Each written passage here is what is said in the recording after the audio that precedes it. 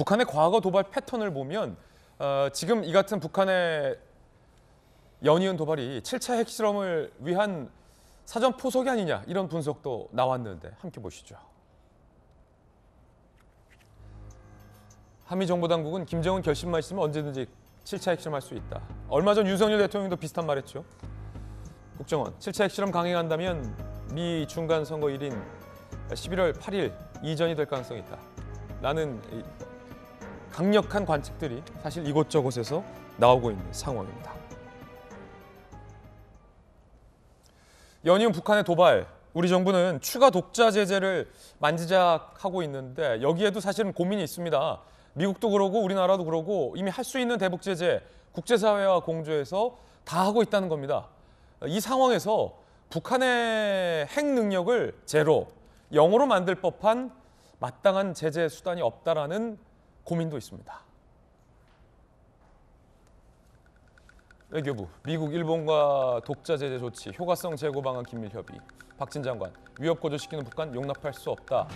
추가 독재 제재 부과 가능성 등 여러 가지 준비해 놓고 있다라고 이야기를 하고 있습니다만, 음. 조한번 박사님, 예, 마땅한 제재 카드가 더 남아 있습니까? 없습니다. 이미 뭐 제재 만능론에서 벗어나야 돼요. 제재는 효과적인 거지 제재가 답은 아닙니다. 왜냐하면 모든 독재 체제는 이라크 후세인 정권도 경제는 망가졌는데 정권은 유지했거든요. 이게 제재만으로 굴복한 사례가 없어요. 그러니까 다른 효과적인 수단 추가할 제재도 없고 제재한다고 해서 김정은이 굴복할 가능성도 없어요. 그러니까 제재 만능론에서는 벗어나야 됩니다. 제재는 보도 수단인 거고 다른 다양한 해법을 강구를 해야 되는 거죠. 어떤 게 있습니까? 어, 뭐 여러 가지 국제 공조도 있고 중국 활용하는 방안도 있고 어, 그렇지만 사실 김정은이 제일 무서워하는 게 일반 인민들의 민심이에요. 그 민심이 움직이면 사실은 김정은이 가장 아픈 부분이거든요. 예.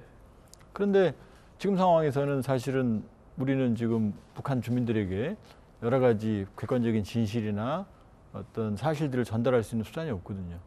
대북전단 금지법까지 만들어졌으니까. 음. 물론 뭐 그런 것들이 극, 어떤 자극적인 행위는 그건 결코 바람직하지 않지만 결국 선택은 북한 주민들이 하는 거거든요. 그러니까 북한 주민들이 선택할 수 있는 많은 여건들을 만들어 주는 게 중요하다고 보여집니다. 가장 효과적인 수단일 수 있다. 그렇군요. 그런가 하면 미 백악관이 북한이 러시아의 우크라이나 침공 전쟁에 비밀스럽게 북한이 포탄을 제공한 걸로 보인다라는 발표를 해서 사실 전 세계가 놀라고 있습니다. 북한이 한반도를 볼모 삼아 위험한 도발을 이어가고 있는 가운데 우크라이나 침공 전쟁에 그 러시아에 비밀리에 포탄을 제공했다. 함께 들어보실까요? Our information indicates that the DPRK is covertly supplying Russia's war in Ukraine with a significant number of artillery shells while obfuscating the real destination. 그러고 보니 지난달 푸틴이 러시아의 푸틴 대통령이 이런 말 한 적 이런 말 한 기억이 문득 떠오릅니다. 아, 어떤 말일까 한번 들어보시죠. Э, Но сейчас нам известно, что э, Республика Корея приняла решение поставлять оружие и боеприпасы на Украину. Это будет разрушать наши отношения. А как бы Республика Корея отнеслась к тому, что мы начали, возобновили его сотрудничество с Северной Кореей по этому направлению? 러시아가 만약 북한과 무기 협력을 재개하면 대한민국은 어떤 반응일까?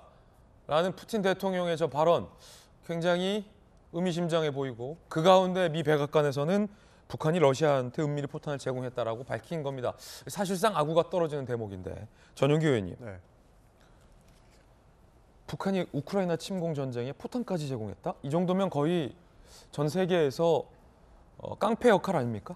북한? 어, 지금도 미사일 쏘는 거 보면 거의 깡패 역할을 하고 있다고 볼 수 있을 것 같습니다. 예. 그리고 추가적으로 말씀드리면 김정은 지금 정권은 정권의 안위를 위해서 사실 어떠한 불법적인 일도 다 자행할 수 있는 그런 상태 같습니다. 사실 그 제재가 뭐 답은 아니다라고 조한문 박사님도 말씀을 해주셨는데 어, 북한은 제재만으로는 사실 저 행동을 잡을 수 없을 거라고 보고 있습니다. 왜냐하면 북한이 수, 버, 수로 벌어들일 수 있는 수입은 대부분 사실 우리가 추정컨대 불법으로 이용하지 않습니까? 그러니까 유엔 안보리에서나 뭐 세계적인 많은 합의들도 있고 약속들도 있는데 북한은 여기에서 제재를 당하고 있는 상황이고 본인들이 또 수입을 얻어들이려면 결국은 불법을 자행하고 있고 실제로 저 천억 원이 어디서 나왔겠습니까? 저희는 사실 어, 추정컨대 불법적인 돈을 얻어왔고 거기에서 이제 미사일을 이제 개발시킬 수 있는 자금을 얻은 것이 아닌가 이렇게 생각을 할 수밖에 없는 상황에 놓여 있습니다.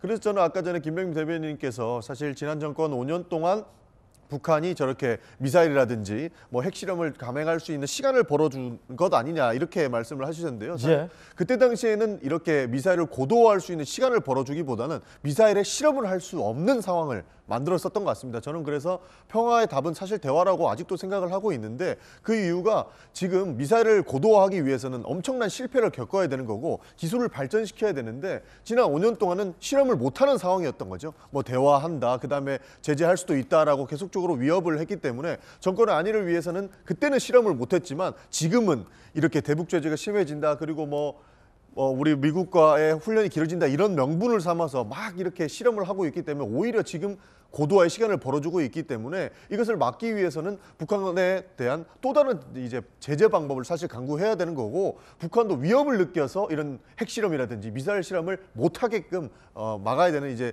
사실 뭐 또 하나의 방법을 좀 강구해야 될 때다 예. 그렇게 보고 있습니다. 민주당 전영기 의원의 아주 당찬 북한을 향한 경고의 돌직구 발언까지 들어봤습니다.